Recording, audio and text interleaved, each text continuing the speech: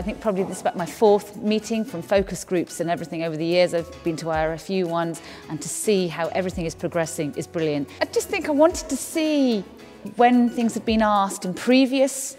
roadshows and in previous focus groups that had been followed through and it has and we can see now the progression and COVID was a big stop on things and people don't realise how much COVID stopped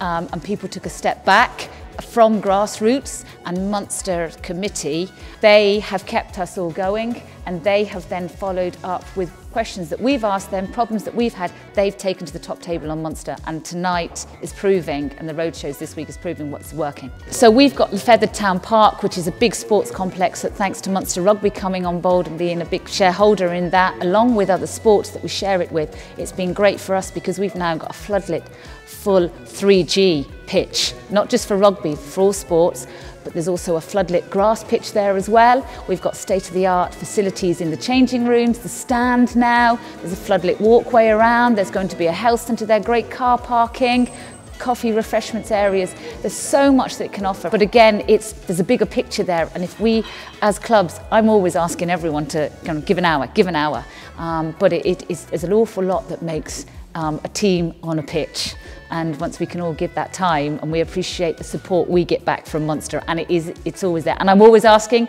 and if you can't help you put me in touch with somebody else that can help so thank you.